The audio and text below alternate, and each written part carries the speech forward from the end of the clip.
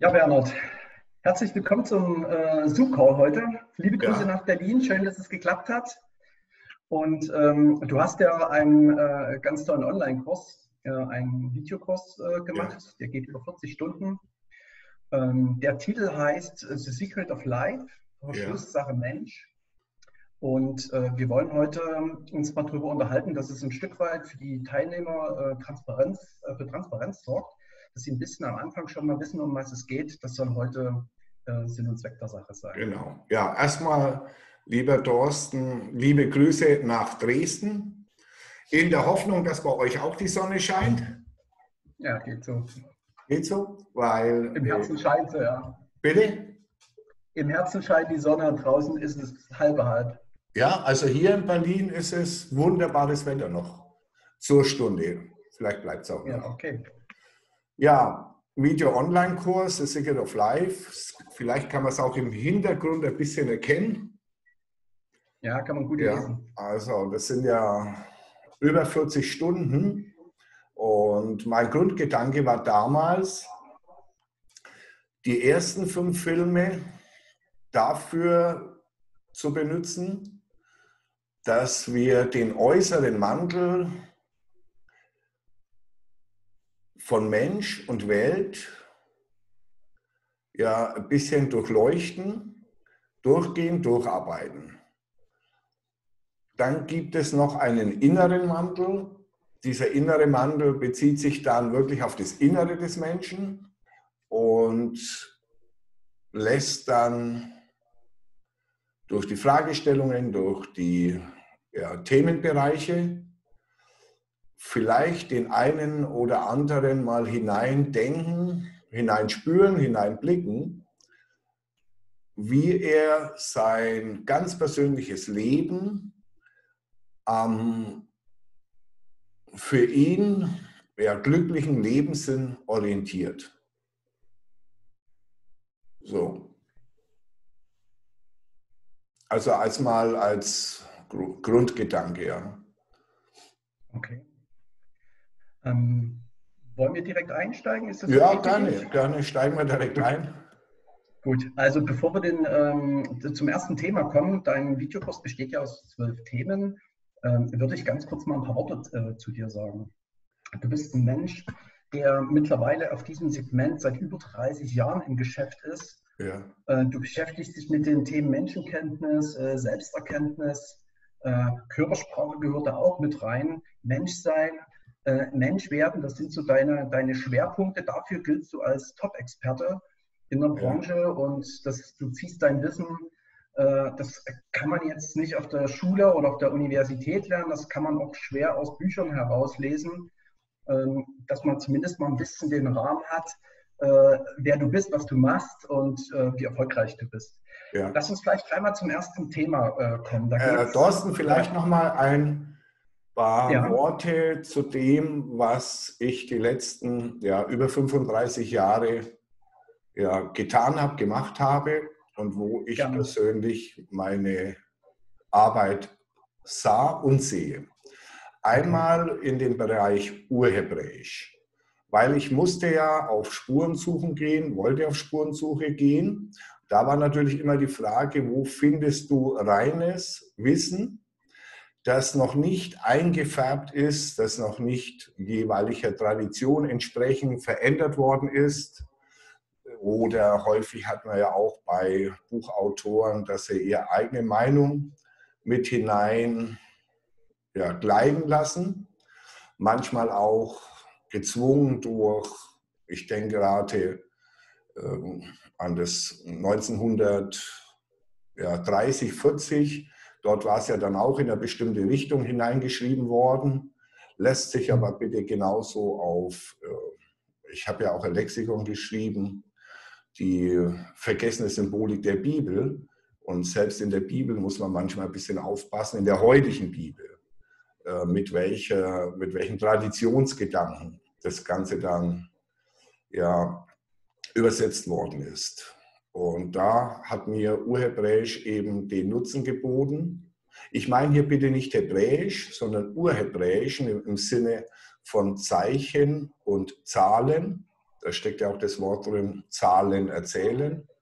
Okay. Dann war der Gedanke noch, weil ich viel in der hermetischen Tradition, also das ist dann griechisch-ägyptische Richtung, zu Hause war und dort dann natürlich auch irgendwann an Kybalion oder Smaragdtafeln gekommen bin und dort natürlich dann auch wieder die Schlüssel gebraucht habe, um ein bisschen mich davor zu schützen im Sinne, die späteren Eingleitungen äh, ein bisschen draußen vorzulassen und natürlich dann auch noch Sanskrit.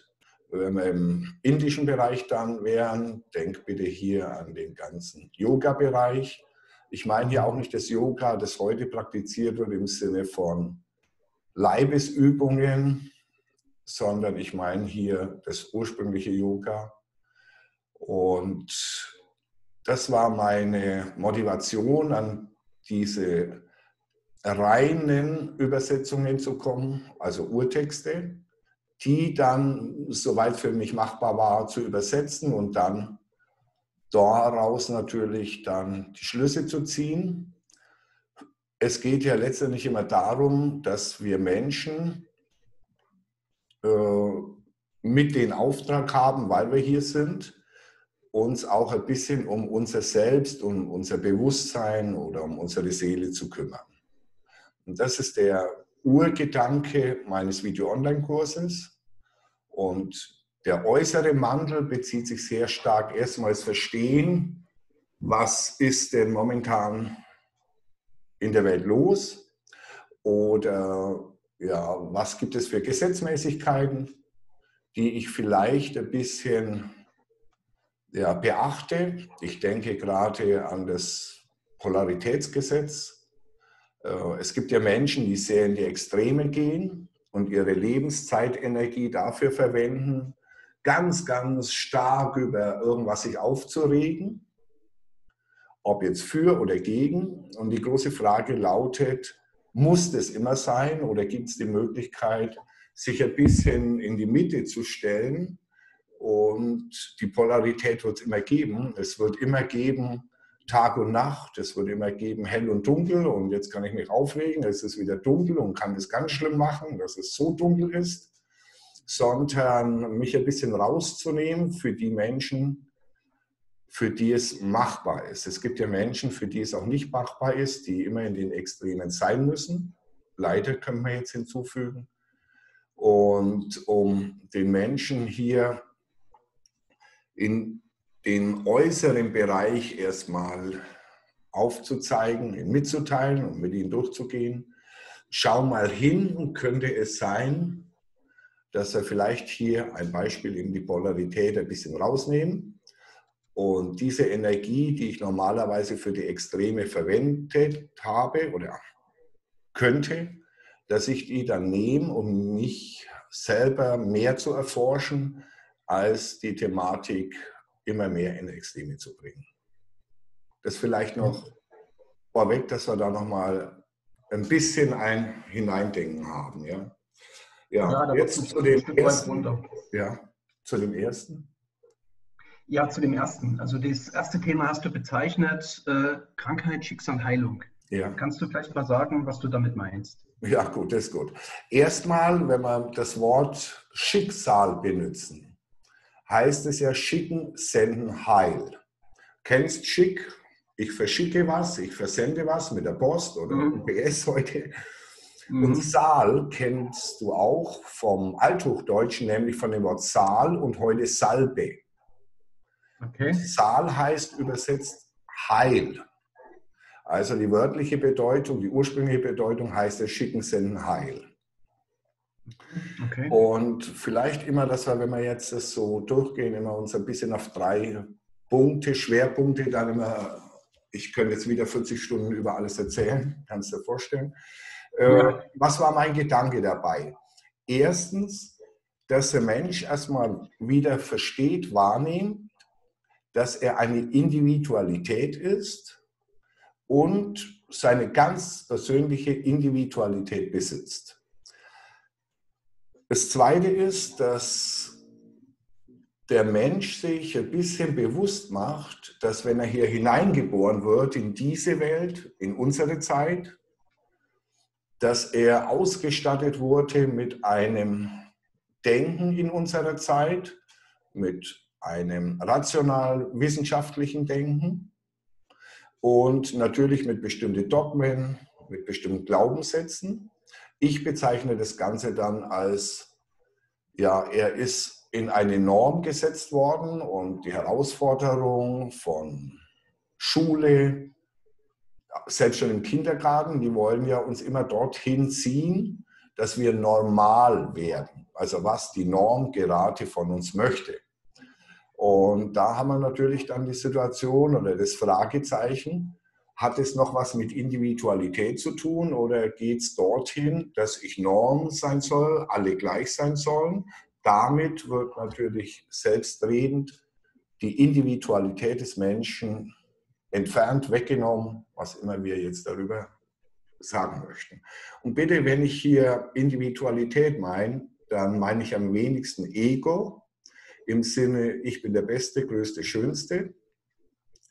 Ich meine hier ich, wenn es um die Ich-Bedürfnisse geht, im Sinne, ich habe Hunger, ich habe Durst, ich möchte jetzt schlafen. Und mir geht es hauptsächlich um diesen Bereich des Selbst, Selbst, das in mir wohnt, meine wirkliche Individualität ist, andere Kulturen bezeichnen es als Bewusstsein, wo ich hier bitte nicht freudsche Bewusstsein meine mit Ober- und Unbewusstes.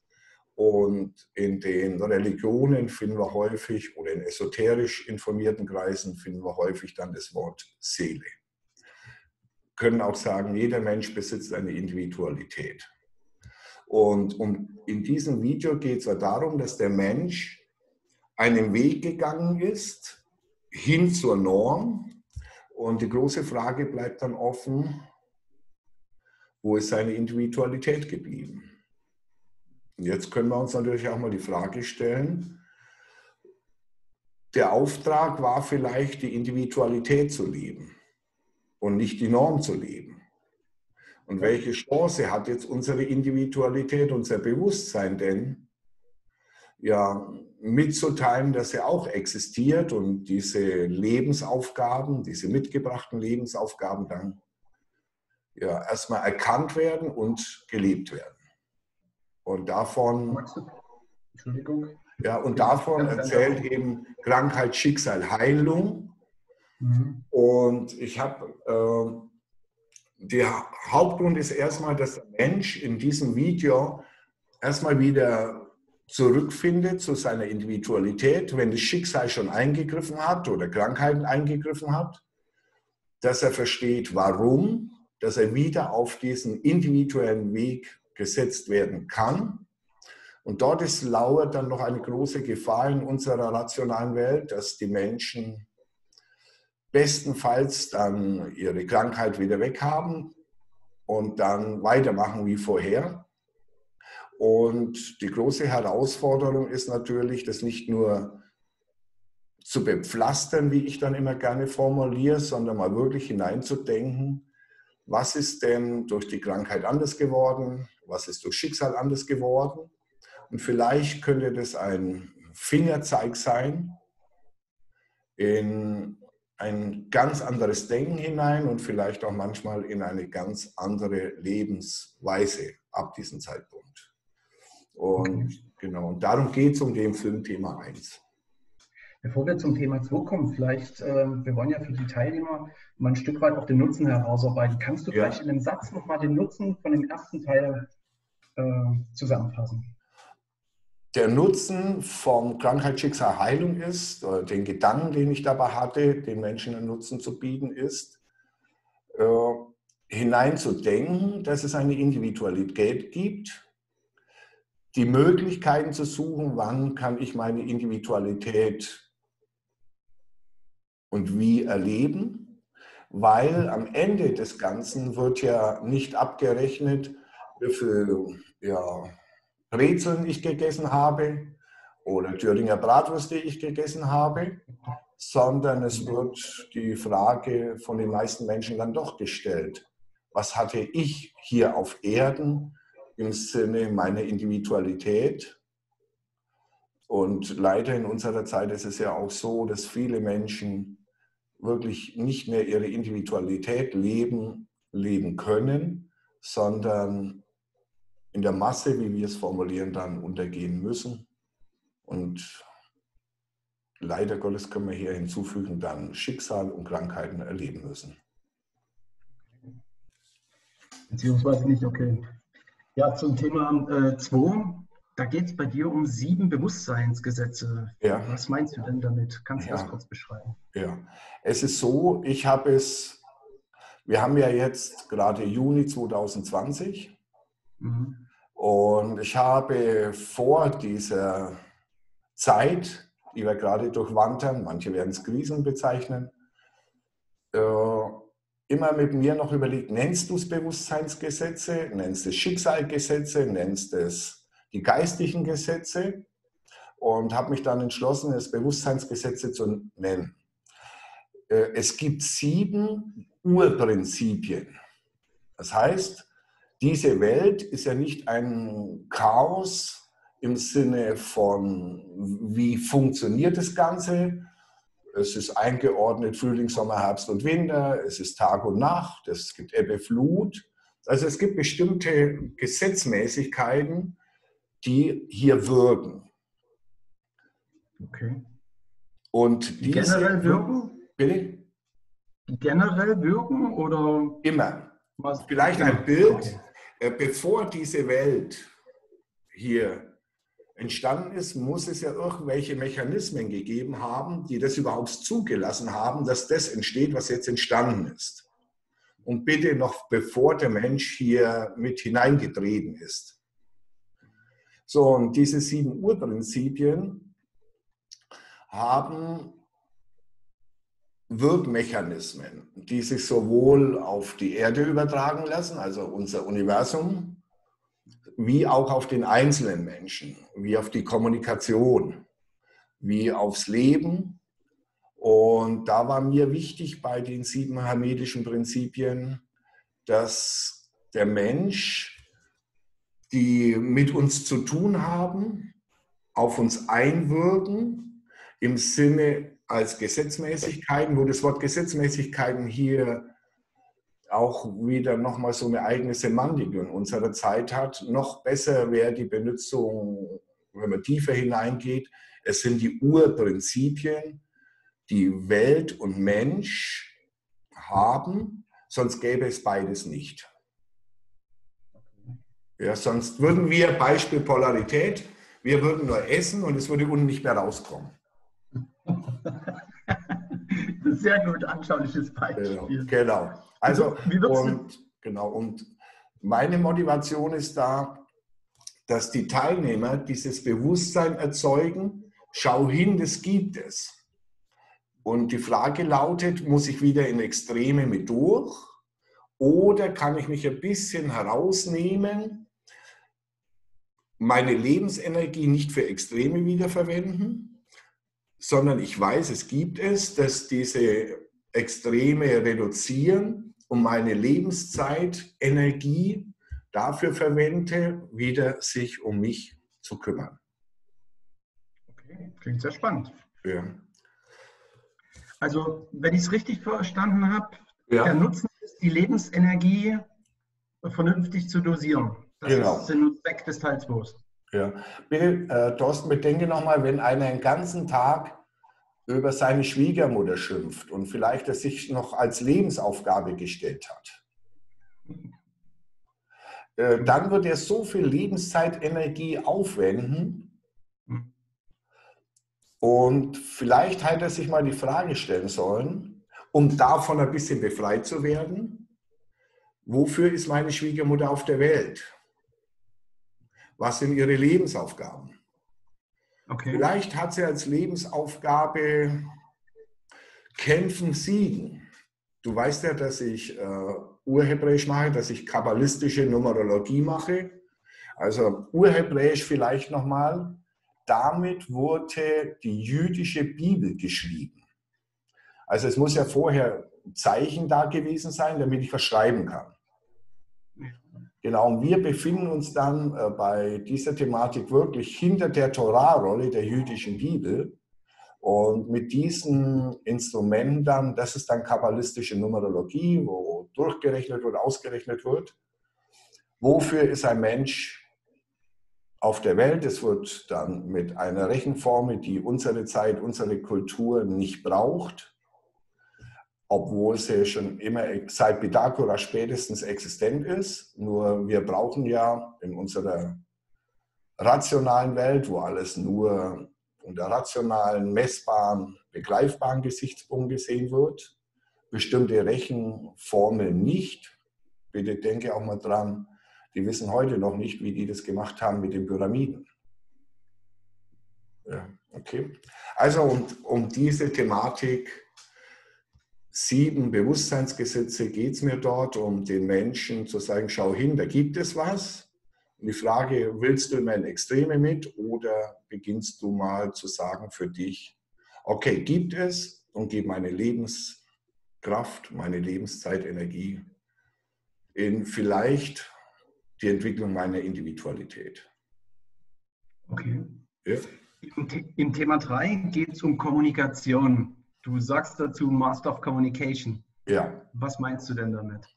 Ja, es, da haben wir, wieder, haben wir wieder die Thematik, weil weder an Schulen noch an Universitäten wird gelehrt die Kommunikation hinter der Kommunikation. Was meinst du damit? Mach mal wieder ein Beispiel, weil wir ja den roten Faden schon Polarität haben äh, denke mal, es wird auch nicht gelehrt, dass es äh, diese 7 Uhr Prinzipien gibt, wird auch nicht gelehrt in den Schulen, Universitäten. Und das Prinzip der Polarität in der Kommunikation sagt, willst du in die Spannung, dann benutze zum Beispiel das Wort aber. Möchtest du in die Harmonie, dann benutze das Wort und, weil das Gehirn des Menschen dann ganz anders das aufnehmen kann. Beispiel, ich würde jetzt sagen, aber Dresden. So, jetzt bist du schon in der Verteidigung. Ja. Wenn ich sage und Dresden, dann geht es im Gehirn ganz anders vorwärts. Mhm. Äh, auch hier wieder um diese Rausnahme. Lieber unterhalten wir uns dann über andere Dinge, als jetzt eine Stunde zu diskutieren, aber Dresden. Okay. So, dann kommt noch dazu, dass aus Sicht der Kommunikation die wenigsten, die allerwenigsten Menschen verstanden haben, dass sie alleine auf der Welt sind.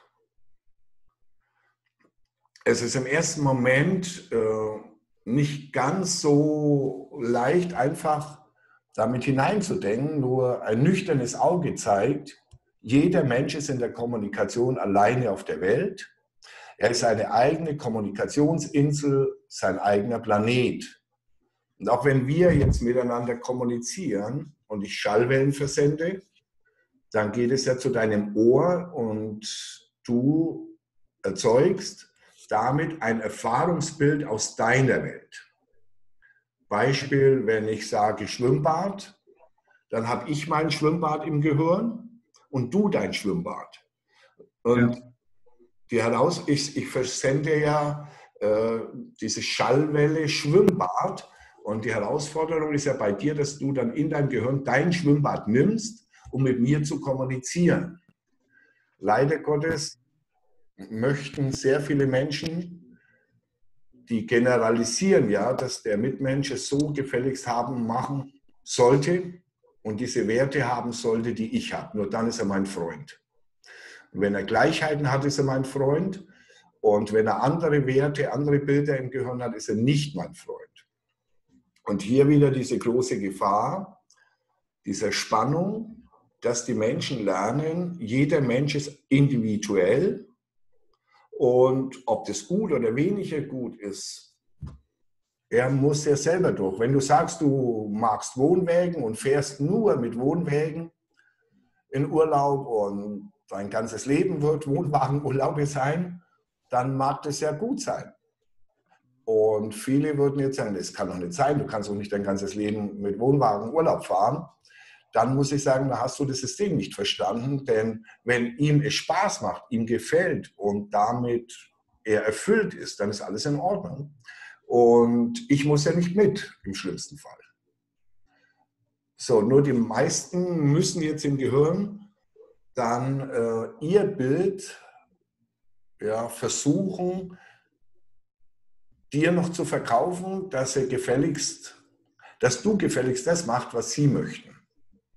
Und aufhörst, ständig mit dem Wohnwagen in Urlaub zu fahren. Also du, du merkst wieder, dass auch hier die Menschen, das wird an der Schule nicht gelernt, das wird an den Universitäten nicht ja. gelernt und dient wieder dazu, in der Kommunikation natürlich auch. Ich habe Körpersprache eingebaut. Äh, ich habe eingebaut Charakterkunde, dass er erkennen kann, was ist den Mitmenschen wirklich wichtig. Ich habe äh, Menschenkenntnis auch eingebaut, die Programme, die Werte noch dazu. Das, jeder hat seine Werte. Jetzt kann man wieder sagen, sind gut, sind schlecht. Hat damit nichts zu tun, weil ich muss nicht mit deinem Leben, du musst aber auch nicht mit meinem Leben. Und die Herausforderung. Bitte? Die Herausforderung, ich wollte noch was fragen, aber sprich ruhig erstmal deinen Satz zu Ende. Die Herausforderung ist, verstehen zu lernen, dass in der Kommunikation jeder Mensch alleine auf der Welt ist, dass ich diese, äh, der soll werden, wie ich Energie wieder wandle, in diese Energie, um mich persönlich individuell zu kümmern kommt auch ein Stück weit Toleranz da drin äh, vor. Ne? Trifft es der Begriff Toleranz oder würdest du sagen, nee, das ist, das verfehlt das Ziel? Hier Toleranz einmal ja. Die andere mhm. Seite bei dem Wort Toleranz hängt sehr stark auch mit Gleichmacherei wieder zusammen. Wir müssen alle okay. einmal ja äh, diese Wort benutzen. Okay. Äh, okay. Semantik. Und wenn wir sagen, alle tolerant sein, gleich sein, dann haben wir wieder unsere Norm, und hier gilt es mhm. dann, dieses große Fragezeichen zu setzen. Was ist jetzt von der Semantik gemeint? Ja. Gut, dass wir nochmal drüber gesprochen haben. Ja, genau. Zunächst gesagt haben, okay, das ist es nicht. Ja. Wollen wir kurz über das Thema 4 sprechen? Über das 4? Ja. Ja, okay, dann über das 4. Da geht es um Gefühle, da geht es um Beziehung, um Liebe, um ja. Liebesschmerz. Ja. Was meinst du damit? Ja, jetzt an keine Schule, keine Universität wird gelehrt, was Gefühle sind, was Gefühle machen und welche Wirkung Gefühle auf uns Menschen haben. Es fängt schon an bei dem Wort fühlen. Meine ich jetzt fühlen Hauttasten oder meine ich fühlen mein Bauchgefühl? Also wir haben im Deutschen nicht mal zwei Begriffe für dieses Wort fühlen. Okay. Hier geht es mir wieder darum, viele Menschen erleben Gefühle und gehen damit in die Extreme. Und kennst du jetzt wieder meine Antwort? Mir macht es keinen Spaß, wenn ein Mensch jahrelang in Gefühlszuständen ist, die er nicht bräuchte, wenn er wüsste, was Gefühle mit ihm machen und wie er sie selber mit beeinflussen kann und auch in eine andere Richtung lenken kann. Hier wären wir bitte auch im vitalenergetischen Körperbereich. Gefühle kann man ja nicht messen. Wir können ja kein Fieberthermometer uns hier reinklemmen und sagen, jetzt ist er auf 45, jetzt ist er auf 80, jetzt ist er auf 90, sondern es gehört ja in den vitalenergetischen Bereich und damit natürlich kennt jeder, wenn er negative Gefühle hat, ist selbst seine Körpersprache eine andere. Wenn er positive Gefühle hat, ist seine Körpersprache eine andere. Äh, bitte, ich meine hier nicht nur positiv denken, denn mir würde genügen, wenn 51 Prozent positive Energie, weil es gibt Situationen im Leben, da muss ich genauso mal negativ denken wie positiv denken. Diese reinen Positivdenker, die nehmen in ihrem Gedanken die Welt der Polarität weg, nur auf einen Pol wiederzusetzen sondern es wird immer beides geben. Ist nur die Frage, wie stark ich das zulasse, in die Extreme zu gehen. Und dann haben wir noch die Situation, dass wir ja auch im partnerschaftlichen Bereich Gefühle haben. Und es geht dort auch hinein, das äh, geht darum, vielleicht ein Bild hier noch dazu, Gefühle dienen auch dazu, unsere Außenwelt, was wir durch die fünf Sinne wahrnehmen, zu verarbeiten in unserem Gehirn, in unserem Leben. So. Und Das kennst du, wenn du einmal einen Urlaubsort fährst, wo du noch nie warst, ist der emotionale Zustand ein anderer, als wenn du schon zehnmal an dem Ort warst. Dann bist du schneller angekommen. Ja. Und es bedarf auch nicht dieser Emotionalität. So. Genauso lässt sich das übertragen äh, im Bereich der Partnerschaft. Ein, da lernen sich zwei Menschen kennen, das, die müssen sich verlieben, sonst würde das ganze System nicht funktionieren. Und jetzt muss man bitte auch mal wissen, dass wenn die Frau weiß, wie der Mann aussieht, wie er riecht, wie er schmeckt, was er sagt, dann hat das Gehirn das irgendwann verarbeitet und dann ist es gleich. Immer das Gleiche kommt dann und dann sagt das Gehirn, dann brauche ich nicht mehr so viel Emotionen. Jetzt neigen viele Menschen dazu, nach einigen Jahren zu sagen, ich fühle nicht mehr das, was ich damals gefühlt habe, wie ich dich kennengelernt habe. Also bist du kein guter mehr. Und deshalb habe ich äh, diesen Film Gefühle mit äh, konzipiert und dann auch gedreht, auch zwei Stunden, weil ich will, dass die Menschen hier wissen, mit, dem, mit der Motivation wieder die Lebenszeitenergie woanders hin zu verwenden. Weil wenn der die Oma hasst oder wenn der seinen Bruder oder Schwester hasst, dann erzeugt er so viel Energie, die er sich sparen könnte, wenn er weiß, was Gefühle sind, was sie mit ihm machen und wenn er so immer wieder Gefühlszustände aufbaut, dass es natürlich sich auch somalisieren kann und daraus beispielsweise äh, Magengeschwüre entstehen, wenn ich über Jahre hinweg solche Energie in meinen Körper hineingebe. Ja. Und bitte, äh, fetalennergetischer Körper, jeder weiß, wenn ich positiv denke, geht positive Energie in den Körper rein. Und Energie ist nach dem Gesetz der Physik, gibt es keine tote Energie, also muss es ja irgendwo hinwandern.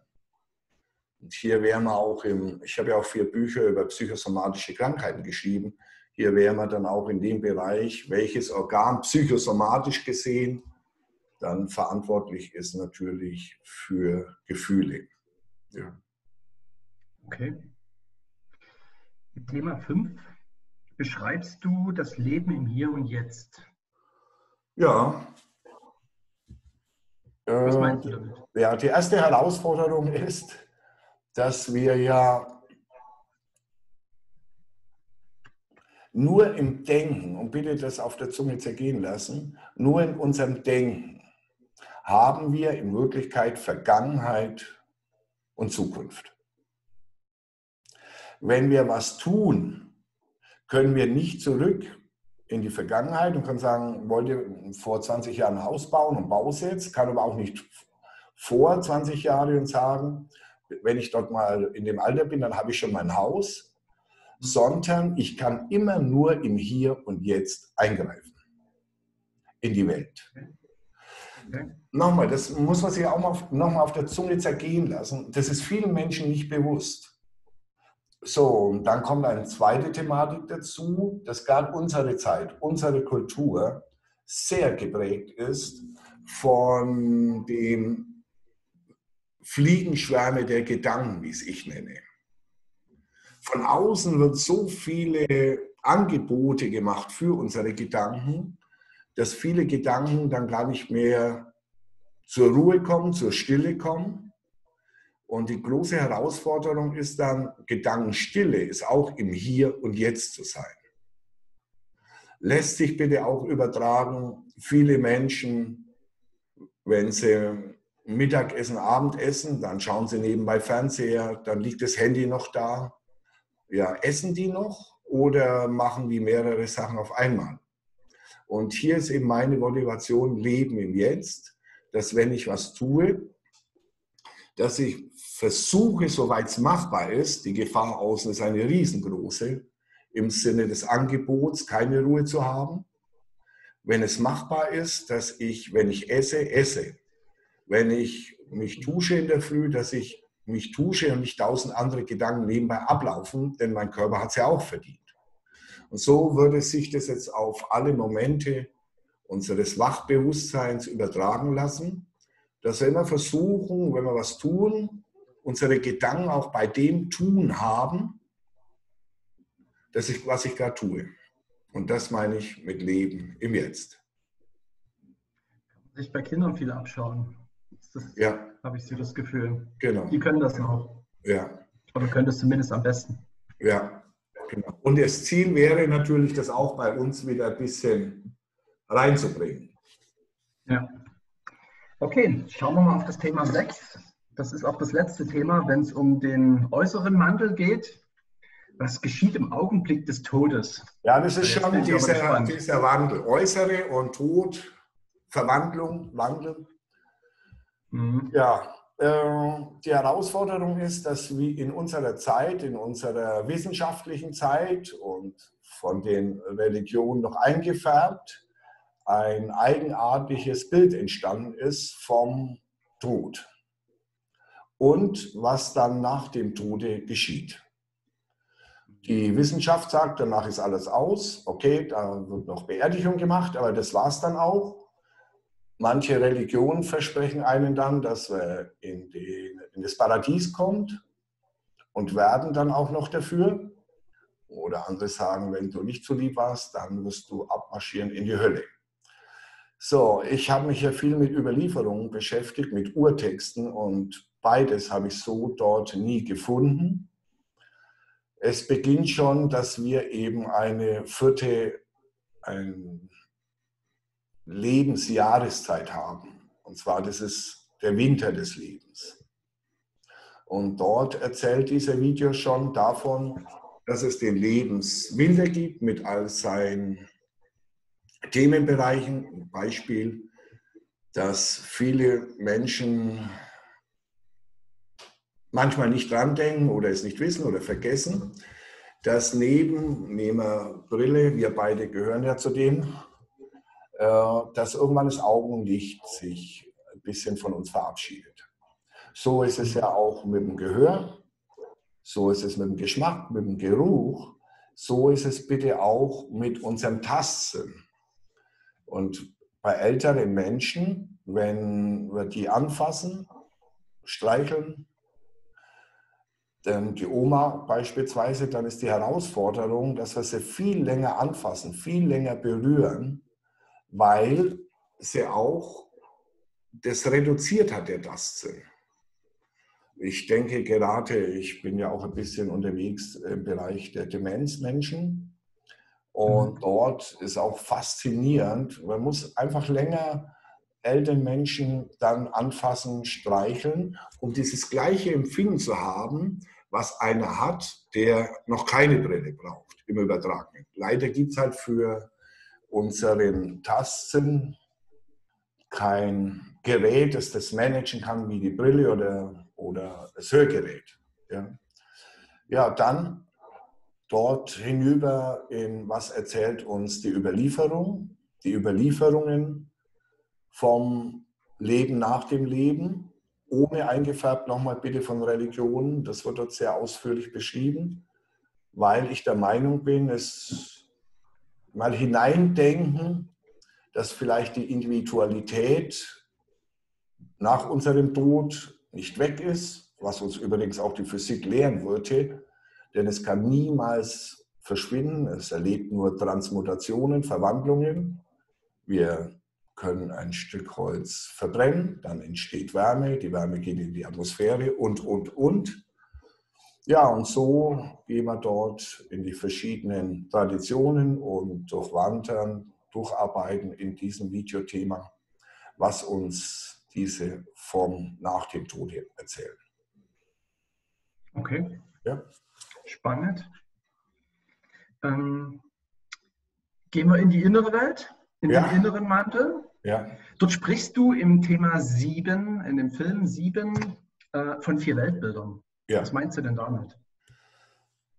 Wir sind ja, wir haben euch ja schon mal ein bisschen angesprochen beide, wenn man geboren wird, dann kommen wir in dieses rational, wissenschaftliche, logische, kausale, messbare, begreifbare Denken hinein. Und dort hängen wir jetzt drin, im wahrsten Sinne des Wortes. Und auch früher, zu meiner Zeit, war es ja noch so, dass Linkshändertum in der Schule noch gnadenlos abtrainiert worden ist, weil es würde diese Hemisphäre bedienen. Diese Hemisphäre wäre analoges Denken. Und so mussten wir logisch, rational, wissenschaftlich lernen. Und wer nicht mitkam, wer mit der anderen Hemisphäre lernen hätte müssen, der war dann ein schlechter Schüler, ein schwacher Schüler und ist im schlimmsten Fall sogar noch sitzen geblieben. Ja, dass es daneben andere Denksysteme und die ich als Weltbilder beschreibe, gibt, das wurde uns erstmal nicht gesagt und gleichzeitig noch ja, als dumm verkauft im besten Fall. Es gibt daneben natürlich ein analoges Denken, das alles, wenn ich möchte und somit hineindenken möchte, der Rationalist muss jetzt schon wieder Kopfschütteln daneben stehen und sagen, so was kann es doch nicht geben. Muss man auch vorsichtig sein, weil manche, was aber bitte wieder sein muss, Polarität, es muss Menschen geben, die ausschließlich im rationalen Denken zu Hause sind, weil sonst gäbe es die anderen wieder nicht, okay? Mhm. ein analoges Denken gibt, dass alles, was wir wahrnehmen, einen Charakter besitzt. Dass ein Gänseblümchen einen anderen Charakter auf uns ausstrahlt als eine Sonnenblume.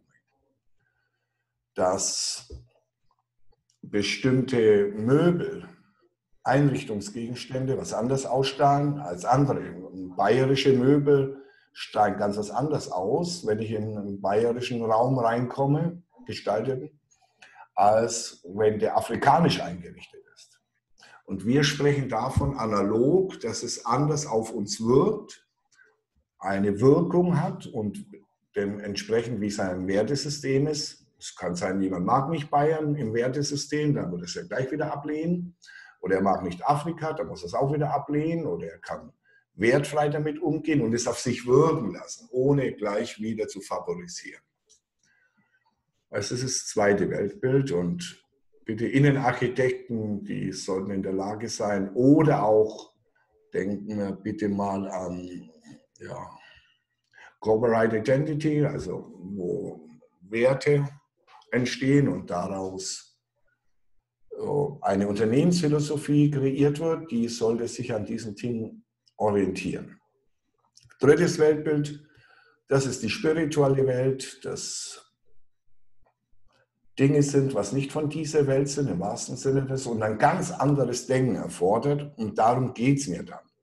Wenn ich heute mit dem rationalen Denken, das nur horizontales Denken zulässt, also von rechts nach links, links nach rechts, Vergangenheit, Zukunft, Zukunft, Vergangenheit, so auch dann die Welt gedacht werden muss dann muss die große Frage stellen, nee, so darf ich nicht, sondern wenn ich in diesem dritten Weltbild bin, Spiritualität, ist die Aufgabenstellung von oben nach unten vertikal zu denken. Sonst durch diesen System Unrecht. Und dort wäre man auch beispielsweise im Bereich der Homöopathie. Wenn ich rational Homöopathie nehme, dann muss ich sagen, im ersten Weltbild muss ich aussteigen und der darf dann auch aussteigen weil er in anderen Weltbildern, in andere Denksysteme nicht mit hinein kann oder nicht mit hinein will, wegen mir. Nur, dass sowas immer existiert hat. Ich denke jetzt auch gerade an traditionelle chinesische Medizin, die ja für den rational Denkenden mehr als nur Humbug ist. Auf der anderen Seite, die Chinesen das seit 3000 Jahren praktizieren. Gut, jetzt kann ich wieder sagen, naja, die waren immer so dumm.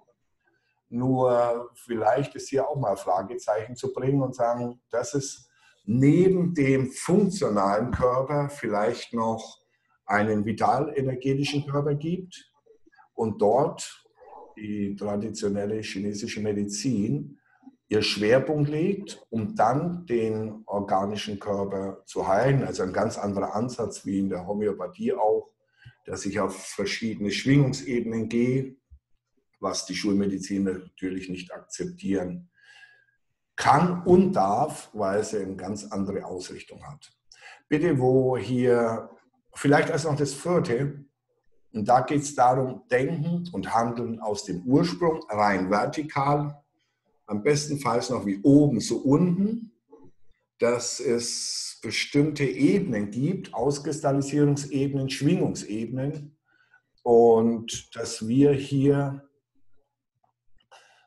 diese Urprinzipien, ob wir wollen oder nicht, erleben und erfahren müssen und nur innerhalb dieser leben können, weil sie unser Leben mitbestimmen. Wo das Wort Mitbestimmung schon wieder ein gefährliches Wort ist, weil manche sich wieder einreden, dass sie ihr Leben ganz alleine im Griff haben.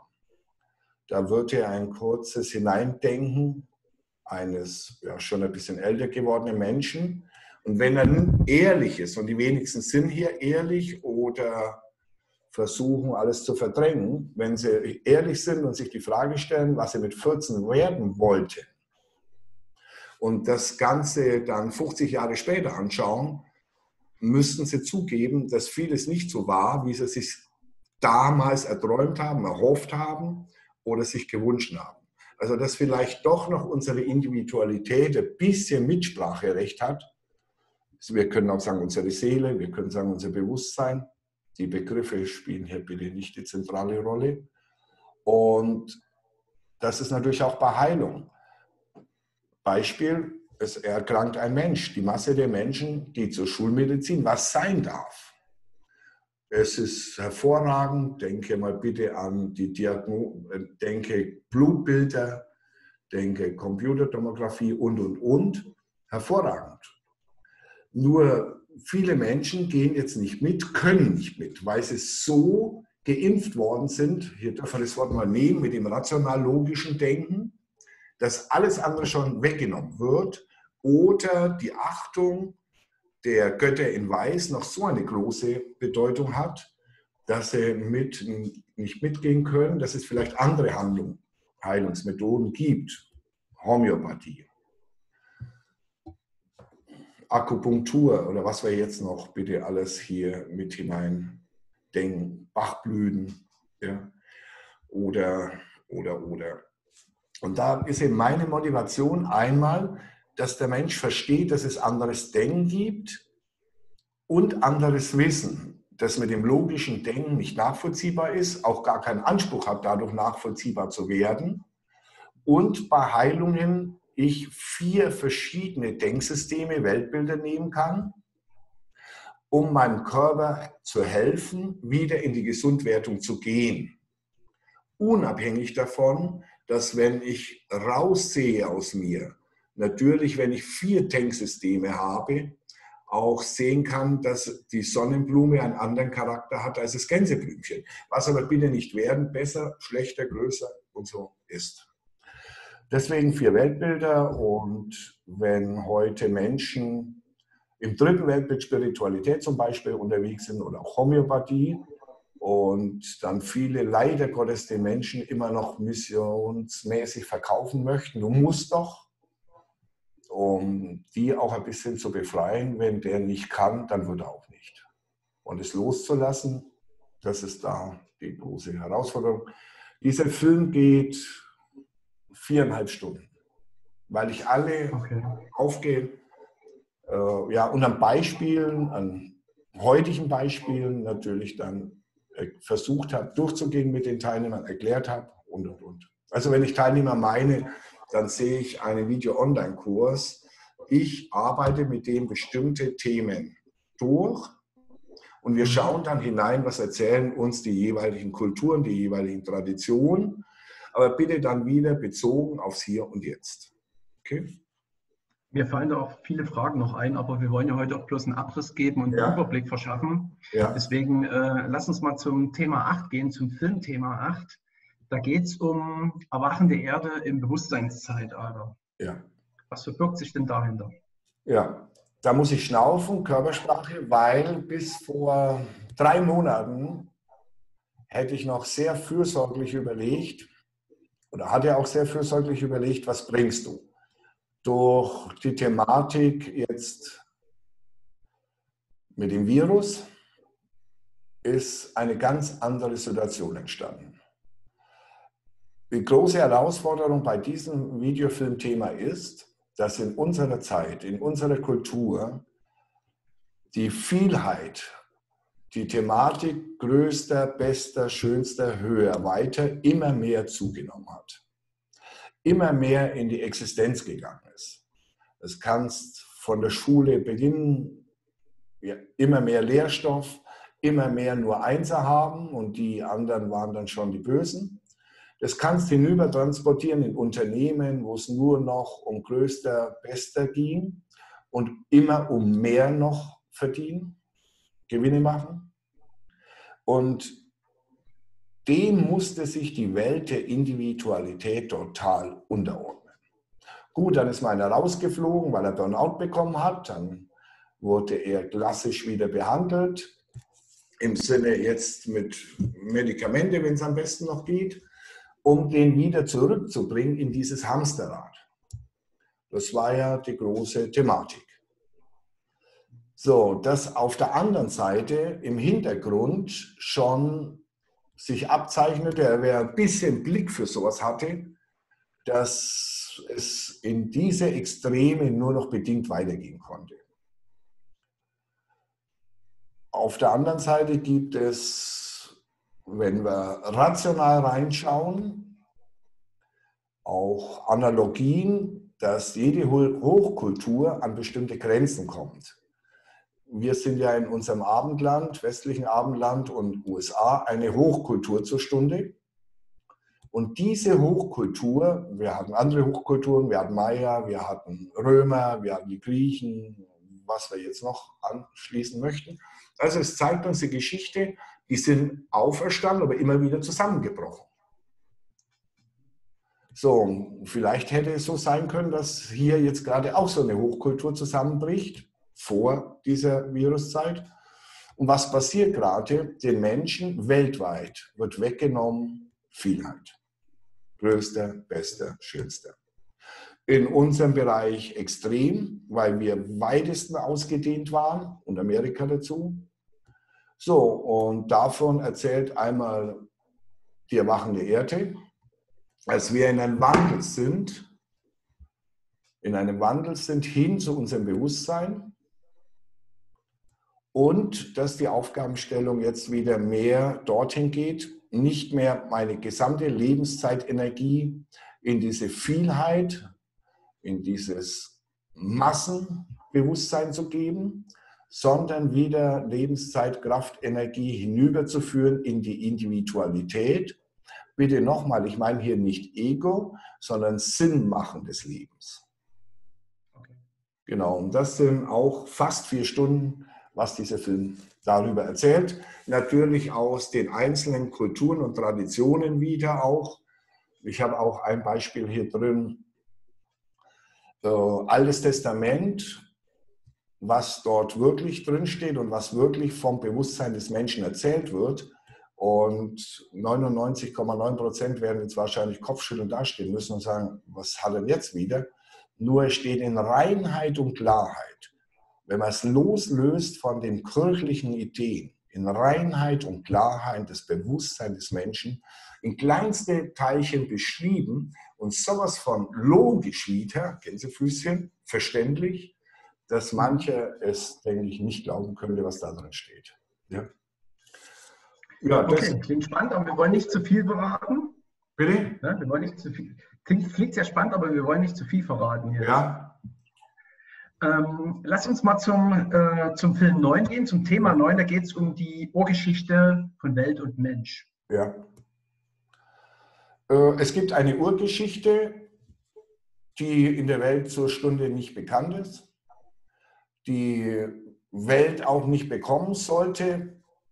Denk mal bitte an unsere kirchlichen Einrichtungen.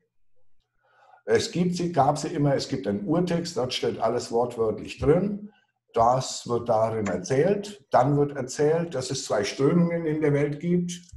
Der Welt des Abstieges im Sinne Vielheit, sich nur an der Außenwelt zu orientieren. Und es gibt einen Weg des Aufstieges zu sich selbst.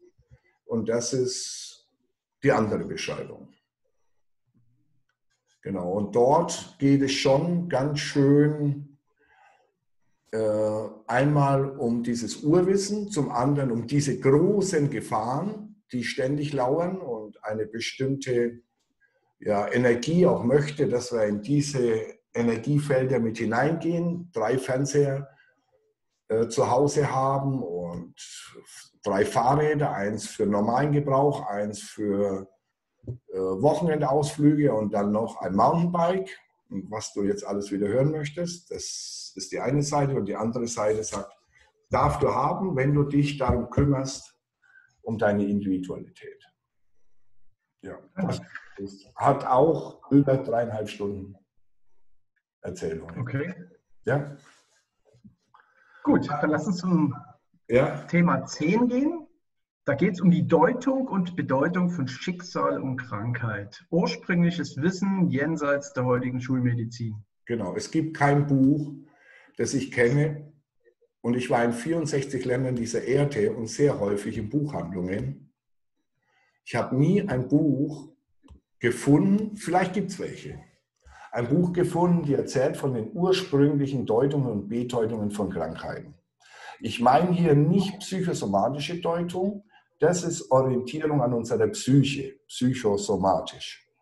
Ich meine hier Erkrankungen der Seele, was wieder eine ganz andere Betrachtungsweise ist, als das, was wir heute finden im psychosomatischen, wo die Schulmedizin ja sowohl psychosomatisch nicht gerne hat, diese Betrachtungsweise. Deswegen fragt ein Arzt ja, was hast du?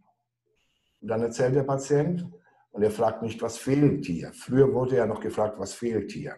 Heute nur noch, was hast du. Ja? Okay. Es wirklich die Beleuchtung aus Sicht der seelischen Krankheiten. Beispiel äh, Partnerschaft, weil wir es vorhin hatten mit äh, Gefühle. Partnerschaft ist, ist im psychosomatischen Bereich, ist es die Bezüge Nieren, die Bezüge zu den Menschen.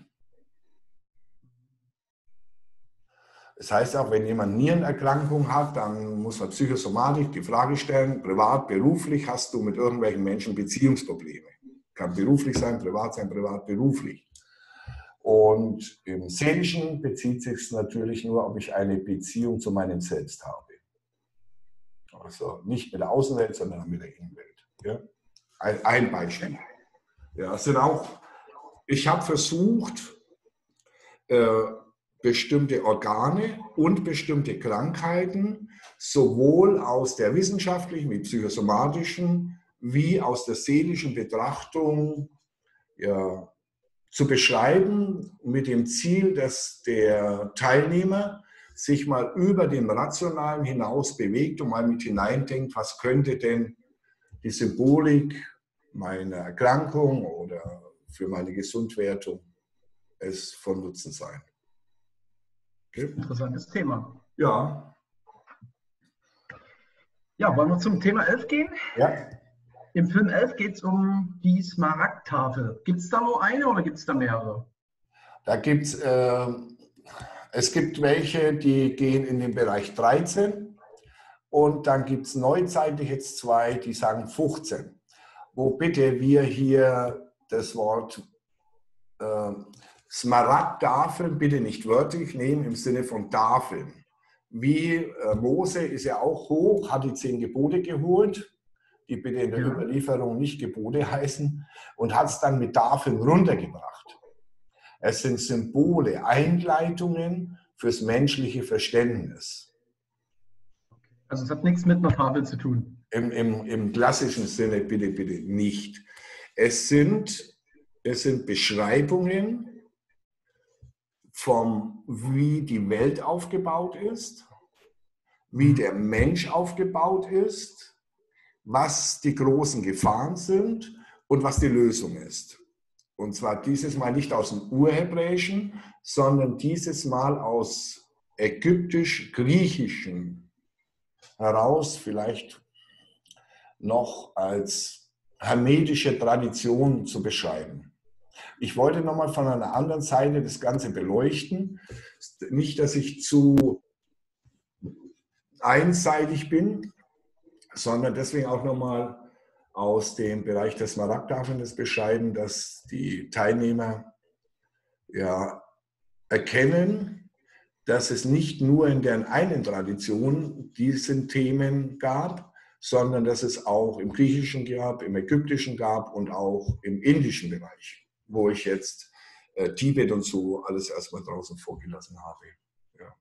Das Ziel ist hier nochmal dieses Verständnis zu bekommen, dass seit Tausenden von Jahren es immer darum geht, kümmerst du dich nur um die Außenwelt, vergisst du dich oder nimmst du beides für dich, um letztendlich mit deiner Innenwelt die Außenwelt zu erleben und nicht von der Außenwelt her gesteuert zu werden, wo die Individualität, weil Übermaß Außenwelt, vergessen wird.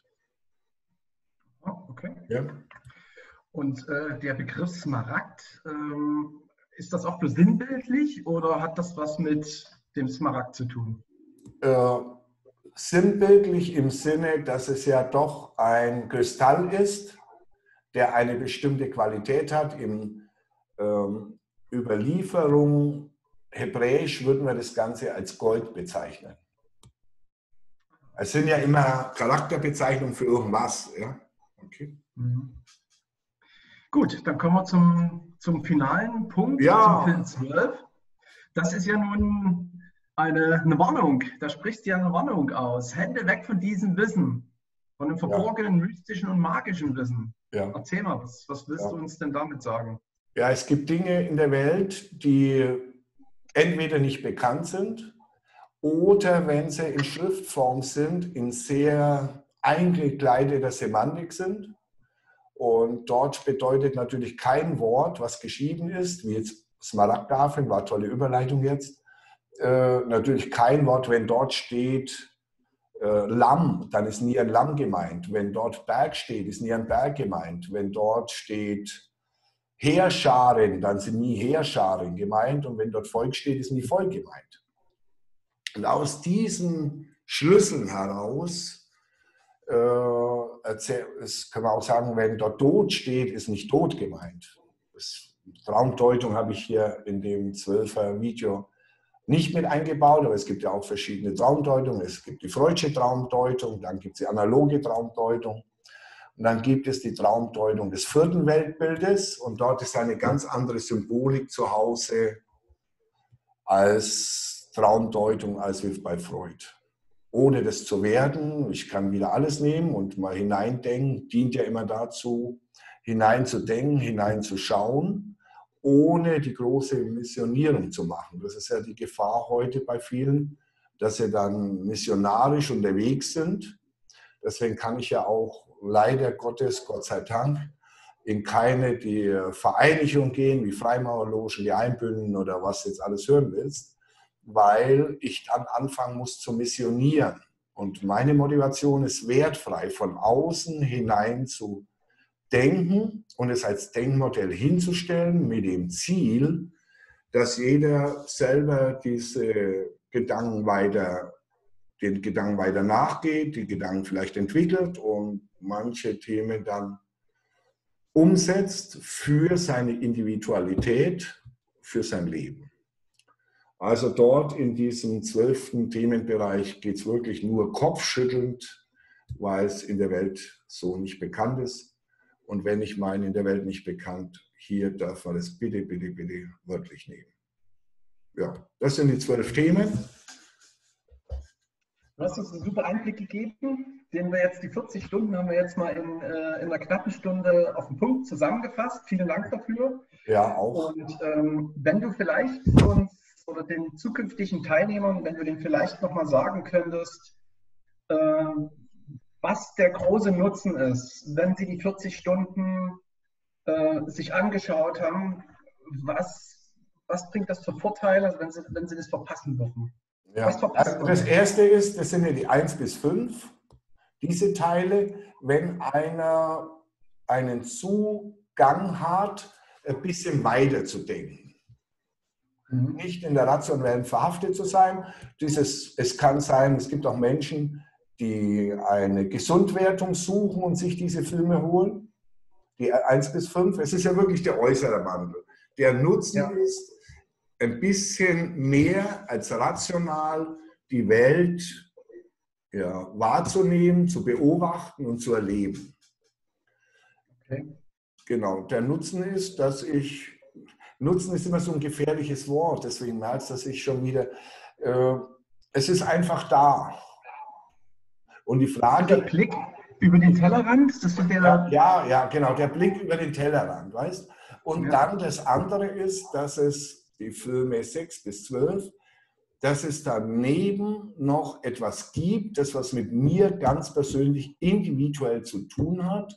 Und die Frage ist, möchte ich mein Leben der Außenwelt geben oder möchte ich beginnen, mit mir, an mir, durch mich und der Außenwelt ja, zu arbeiten, wieder so ein gefährliches Wort, mich dort hineinbegeben, was dann immer passiert, immer geschieht und was der Mensch immer erlebt. Das wäre Nutzen in Anführungsstrichen, wo hier bitte immer noch das Wort, Erfüllung auch wieder so ein gefährliches Wort in unserer Zeit. Die Außenwelt, Fragezeichen, gibt die eine wirkliche Erfüllung oder ist es mehr Glücksmomente, weil ich mir jetzt das Auto geholt habe, bin ich jetzt glücklich. Drei Monate später nicht, merke ich nicht mehr, dass ich ein neues Auto habe. Das ist ja die Motivation derer. Oder finde ich diese Fülle in mir und kann dann aus mir heraus schöpfen? Oder brauche ich immer die Außenwelt, um diese Befriedigung zu erfahren? Also was ich für mich nur sagen kann, ähm, ich habe ja deine, deinen Online-Kurs, den habe ich ja schon äh, angeschaut. Ja. Und ich habe vorher auch schon sehr, sehr viel Richtung Persönlichkeitsentwicklung gemacht. Und ich kann sagen, dass es äh, einer der wertvollsten ähm, Kurse war, die äh, von den Inhalten her gesehen, äh, die ich gemacht habe. Es hat mir tatsächlich einen ganz anderen Blick auf die Dinge gegeben. Also dafür bin ich dir sehr, sehr dankbar und du hast ja äh, gemacht. Und ich denke, dass es auch für viele Teilnehmer so ein Wow-Effekt, so ein, so ein Aha-Effekt ist. Da kriege ich gleich Gänsehaut, wenn ich das erzähle. Ja. Ähm, ja, nee, deswegen bin ich dir sehr dankbar. Ja, eins noch vielleicht, da kommt ja auch Körpersprache im Master of Communication. Und ich kann den Teilnehmern jetzt bestätigen, aufgrund deiner Mimik, dass du es ehrlich und ernst gemeint hast. Ja. Das ist ja der Vorteil immer bei Zoom. Ja. Es ist so schön. Gut, ich hätte ja, gesagt, wenn es anderes gewesen wäre, aber da ich es jetzt so schön gesehen habe, was deine Mimik war und dein Körperausdruck dabei, alles gut. Also kann man vor dem Profi nichts verbergen. Ja. So ist es. Gut, Bernhard, dann hab lieben Dank. Liebe Grüße nach Berlin. Schau mal raus, scheint die Sonne noch bei euch? Ja, scheint noch, ist noch.